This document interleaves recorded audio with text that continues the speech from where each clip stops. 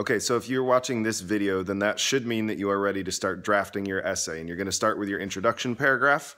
Um, so what you're going to need to have out is you should have out the essay organizer on page six of the packet we started in class. Um, and you should know what your three survival factors are that you chose for Salva. Um, so we're going to get started writing introduction paragraph for Long Walk to Water. So hopefully you're ready to go. Um, if you need to get your supplies out before you continue this video, then just press pause and you can continue in just a second. Uh, in, a, in a second, I'm going to show you on my screen what uh, my introduction paragraph looks like. I'm going to write an introduction paragraph about Nya, not Salva, so just make sure you don't get confused. You're writing about Salva, I'm writing about Nya. Here comes my example. The title and author of the book. So it says, in the book, A Long Walk to Water by Linda Sue Park.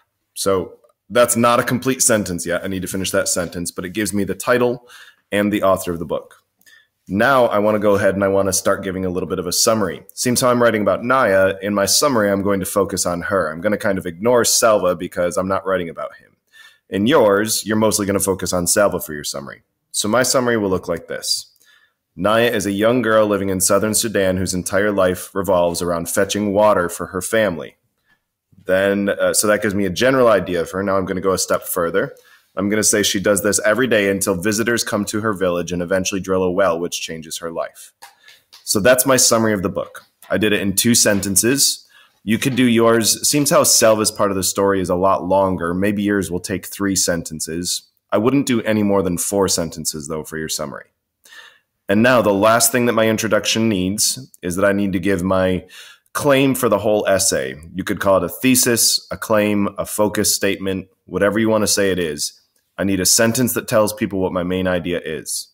So, the essay is about what factors helped Nya survive. Yours is about what factors helped Salva survive.